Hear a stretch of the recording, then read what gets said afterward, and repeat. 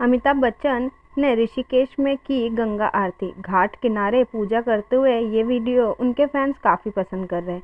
अभी हाल ही में अमिताभ बच्चन उत्तराखंड में अपनी शूटिंग में बिज़ी है। वहीं पे उन्होंने पूजा करी।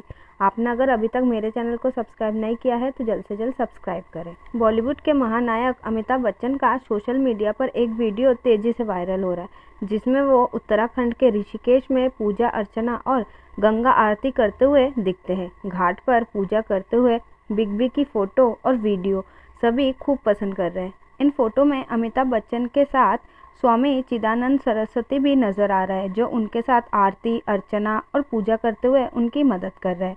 इस खास मौके पर अमिताभ बच्चन एथनिक लुक में भी दिखे। उन्होंने कुर्ता, पायजामा और नेहरू जैकेट पहनी हुई थी। एक फ़ोटो में तो अमिताभ जी ने सीढ़ियों पर बैठे स्वामी चिदानंद सरस्वती को सुनते हुए भी नज़र आ रहा है। एक फ़ोटो में अमिताभ बच्चन ने गंगा घाट किनारे बैठे अपनी ब्लैक एंड वाइट फ़ोटो भी शेयर करी, जिसमें वो मुस्कुराते हुए दिख रहे हैं।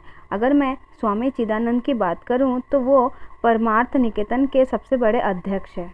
भले ही अमिताभ जी की एज हो गई है, पर अपने काम को लेकर वो काफ़ी सीरियस रहते हैं। उत्तराखंड में मूवी गुड बॉय की शूटिंग से समय निकालकर गंगा घाट पर पूजा करने पहुँचे।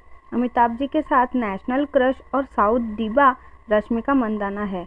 बीते दिन बिग बी ने अपने इंस्टा पर रश्मिका मंदाना के साथ एक फ़ोटो शेयर करी और कैप्शन में लिखा, पुष्पा।